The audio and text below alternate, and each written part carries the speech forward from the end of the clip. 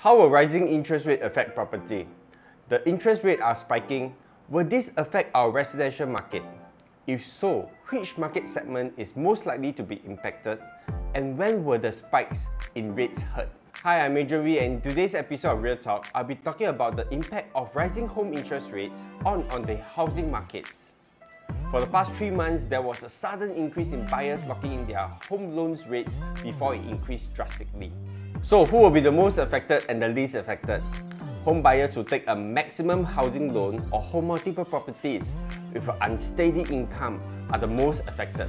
And home buyers who own a single unit, especially those with dual income, will be the least affected. Home buyers must adhere to the total debt servicing ratio, the 3 months compound SORA rates, which was around 1.3% earlier in July 2022, which translates to approximately 2.1 to 2.3% floating loan rates. The floating rates is below 2.5% in the second quarter of 2019 and is the highest interest rate recorded over the past 10 years. How will the rising interest rate impact different market segments?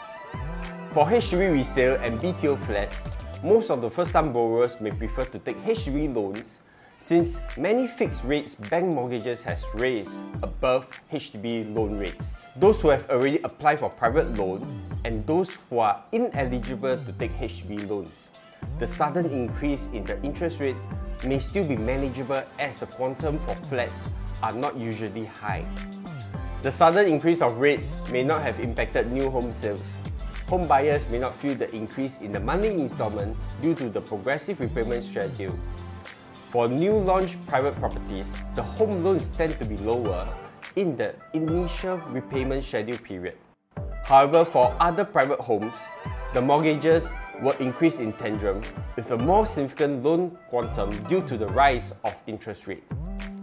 When will the rising interest rate hurt? The rise in interest rate may impact when rates move above 4%. The interest rate used as a threshold for the bank's TDSR calculation from 30th September 2022. Nevertheless, our market may withstand the interest rate impact better than those in many other countries as speculative activities are low.